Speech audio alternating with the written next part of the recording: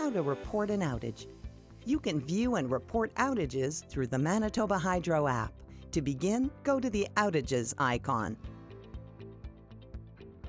Use the outage map to view areas affected by current outages, the outage cause, and estimated power restoration time. You can also search outages by address. To report a power outage, press Report Outage.